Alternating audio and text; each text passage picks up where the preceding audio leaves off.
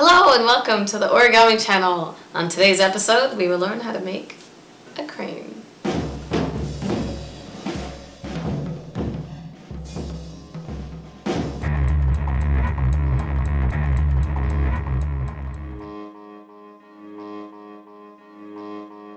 I'm going to start with the white side of the paper facing up and the color on the bottom. Fold it in half. It's going to help you later if you try to line it up as carefully as possible so the edges are even. And whenever you make a fold, really make the crease as sharp and flat as you can. That's the first fold. Next fold is you take this corner and bring it down so that this edge lines up with that edge of the paper. Again, it'll help you later if you take this fold and really flatten it. Second fold. Flip it over, do the same thing. Take this corner, bring it down, so this edge lines up with the bottom and it makes a straight up and down line in the center of the triangle.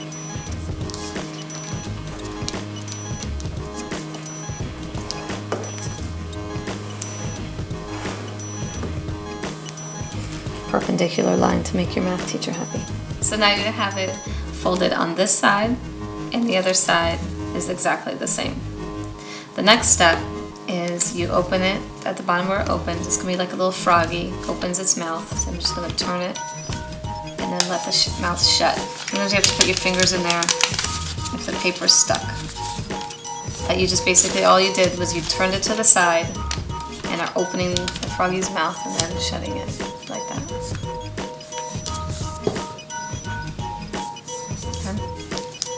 Next step is open side facing you, take the corner and then line this edge, the open edge, with the center crease.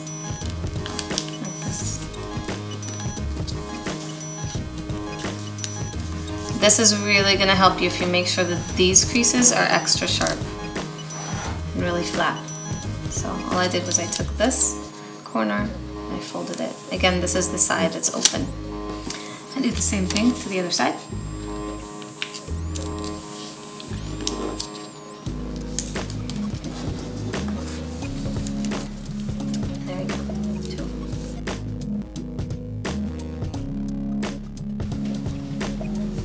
flip it over and do the same thing. Double check the open side facing you. Take this corner, fold it in. Make sure that the crease is as sharp as you can make it. Take the side, fold it in. Make sure the crease is as sharp as you can make it. Now you have a little ice cream cone, a kite, I'm not sure what it is. But two flaps on this side, two flaps on this side. Alright, now we just say that the little ice cream melted and the top of it, where there's a triangle right just folds over. Wow, ice cream melted. And crease it down. Okay.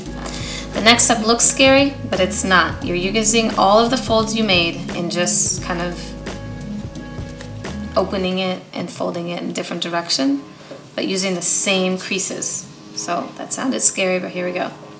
Unfold the ice cream, unfold these two. Take the side that opens and lift it up. I lift it until I get to that straight line that you made when the ice cream melted. And all I'm gonna do is I'm gonna let this fold itself in exactly where the creases already are. I'm not making any new folds, just smoothing it out, the same creases we had already made. Same to the other side. One student likes to call this the canoe. Make like a little canoe sort of. So but let's do it again on the other side, you'll see what I mean. Unfold this flap, unfold that one. Now you have all of these folds. I'm just turning it inside out. I open it, and then all of the folds just come in with the same exact line that you already made.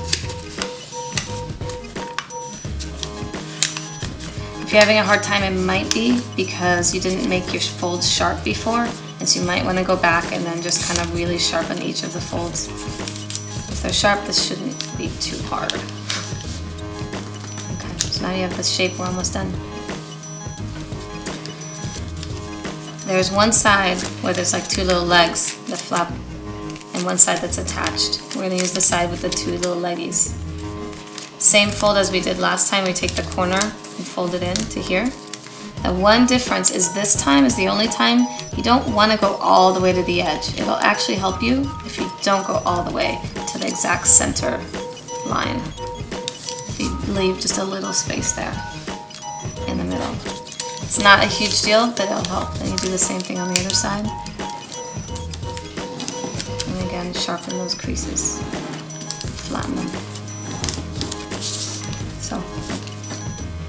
Same thing on the other side. Flip it over, fold it in to the center line, but almost all the way, not completely. Flatten the crease, other side.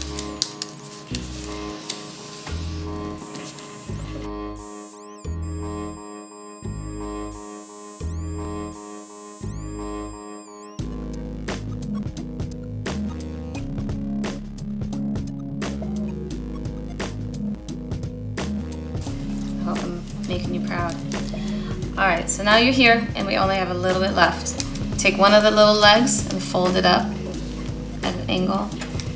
So it's kind of like the, it's going yay and it's sticking its arms up like this. Push it down so that you have a crease right there. You make this kind of shape. Then you're gonna let them back down, the little legs, and turn it just 90 degrees open it right here and then just push this up through and then reclose it.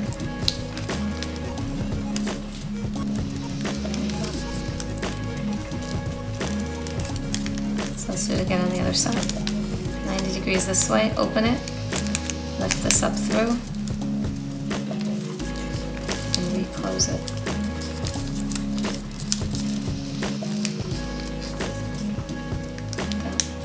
this part is hard, this is why we have some helpers in the classroom. They'll show you. You can rewind it and try to see it again. So now it looks exactly the same on both sides. You can choose one of them to be the head. I choose this one because it's a little smushed. I'm going to open it right there and just push it down.